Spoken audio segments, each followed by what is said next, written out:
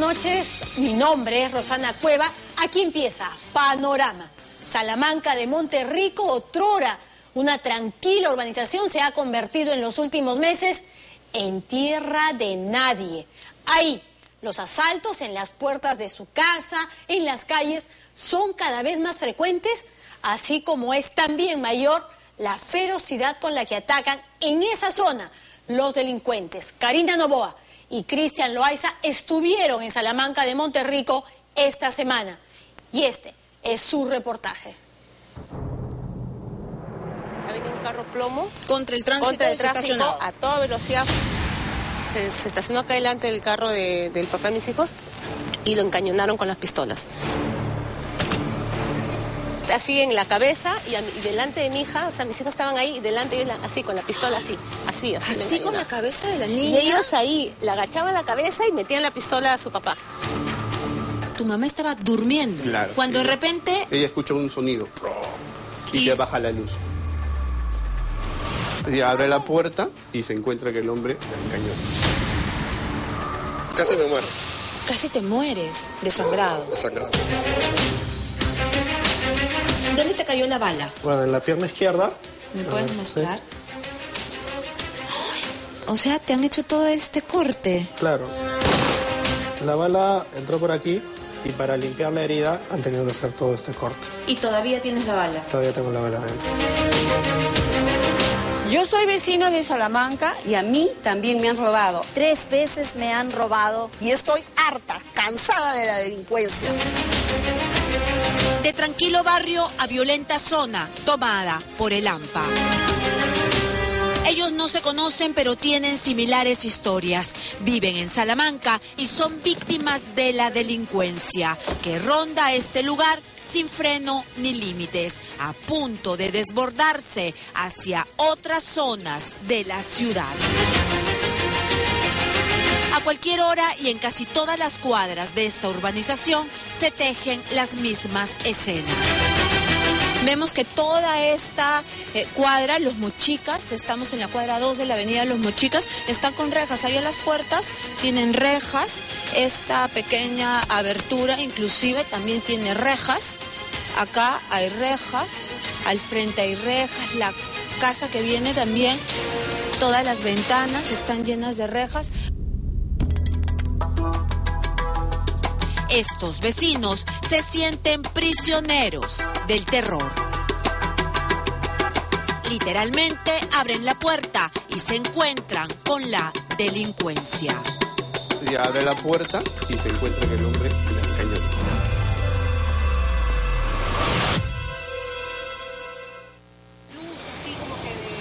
Salamanca se ha convertido en la urbanización de las rejas. Uno de los problemas también es que las calles son así, son solitarias y estamos en una avenida que es una de las más transitadas porque sale hasta circunvalación. Pero si vas por el centro de Salamanca, pues te encuentras con calles así, solitarias, donde los rateros, los delincuentes pueden hacer lo que quieren.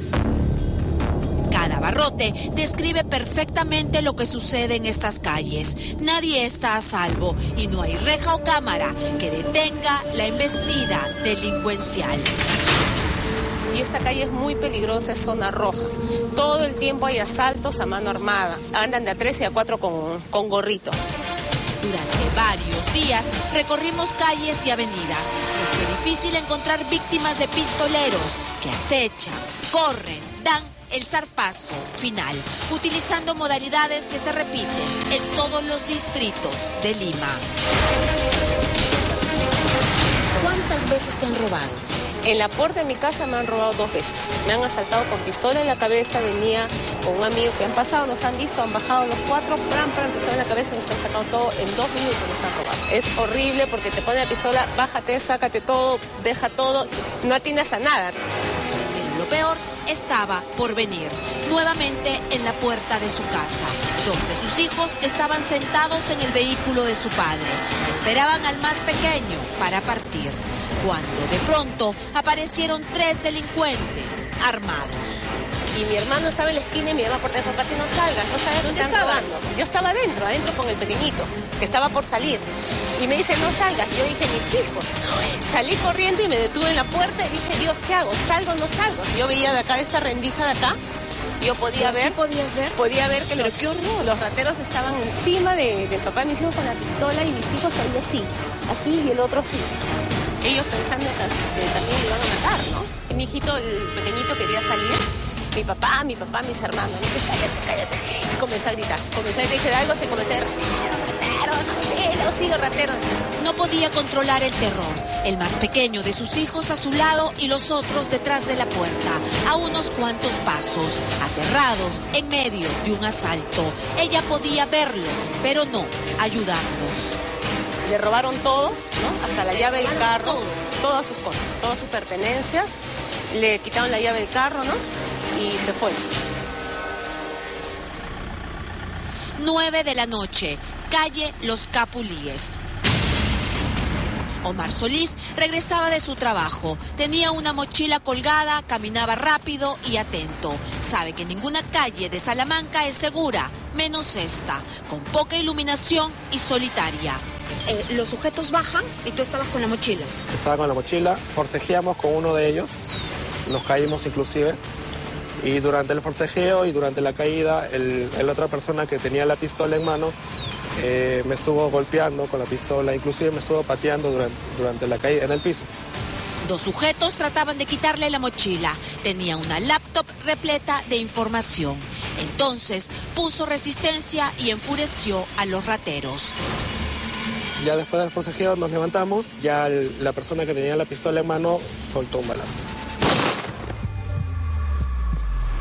En realidad yo escuché el balazo, no sabía dónde, dónde había caído, porque tanto fue la, la tensión que no me había percatado que me había caído la bala. ¿Y dónde te cayó? En la pierna, en la pierna izquierda. Se fueron ya con el maletín y fue en ese momento que bajé la mirada y sí, pues ya estaba ensangrentado.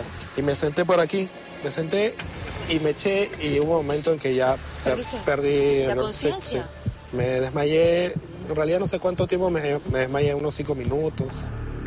De a poco empezaron a salir los vecinos atemorizados con lo mismo de siempre. Alguien le hizo un torniquete en la pierna para contener la profusa pérdida de sangre. Otra persona llamó a la policía. Eh, llamé, eh, hablé con mi mamá, pues estaba con, estaba con ella. Dios mío, tú me... ¿Dijiste que te habían baleado? Sí, hijo, me dice, ¿eres tú? Sí, China, me han disparado aquí, por aquí, por, por este María Selva. Dios mío, casi matas a tu madre. Pucha, mi mamá casi se muere de, de un infarto. ¿Y qué te pasó en la pierna? ¿Qué fue lo que te perforó la bala? Eh, me perforó la arteria femoral. y eso es complicadísimo, ahí te has podido desangrar, ¿no? Claro, es como si te cortaran la yugular. Entonces, la arteria femoral, eh, si, no te, si no te curan en ese momento, no te tratan, te mueres desangrado. ¿Perdiste muchísima sangre? Sí, perdí bastante sangre, bastante sangre, sí. Puso la denuncia y por supuesto que los rateros siguen libres y robando. Cuando paso mi mano aquí, sí la, sí la puedo sentir. ¿Sientes sí, la bala? Sí la siento. Pero no me duele, no me fastidia. Hasta, hasta ahorita no. Es No. el recuerdo de la Es un delincuencia. souvenir, sí.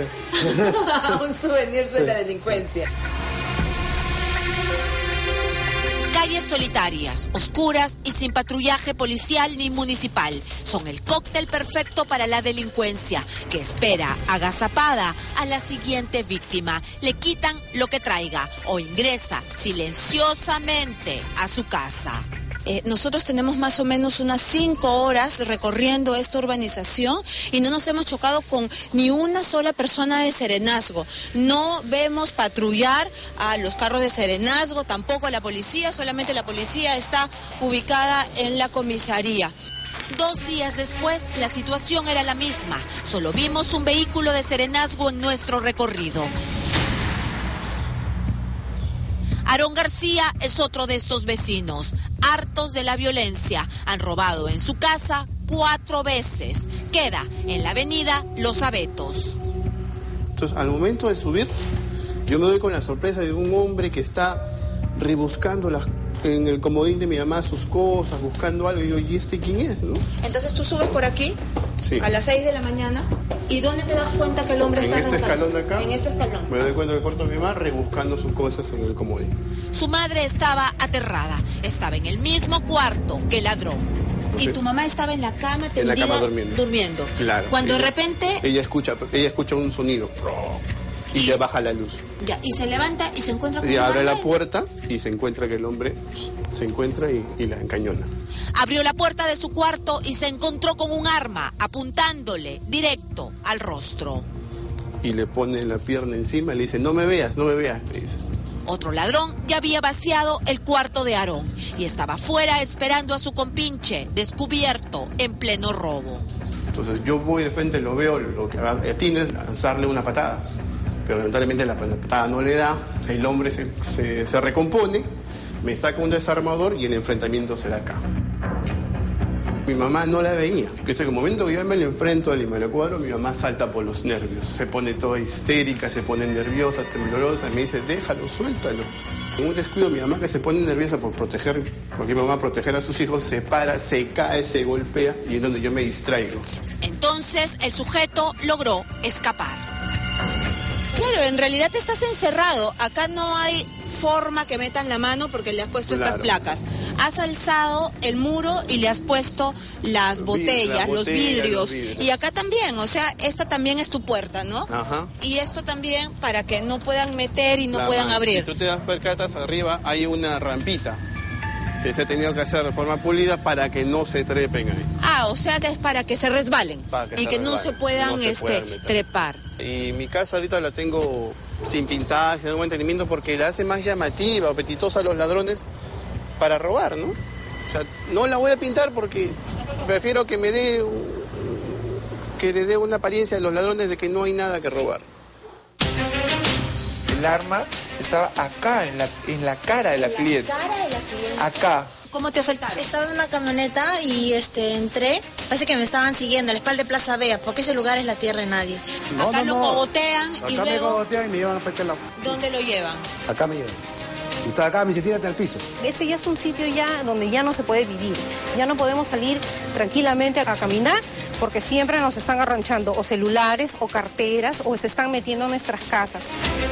Es la queja desesperada de los vecinos de Salamanca. Esta zona pertenece al distrito de Ate Vitarte. Era la urbanización más residencial del distrito y ahora está sitiada por la violencia, sin planes visibles de seguridad y un alcalde ocupado en fiestas y traslado de personas que no saben a dónde van. Mientras tanto, más nombres en la lista de víctimas de la delincuencia.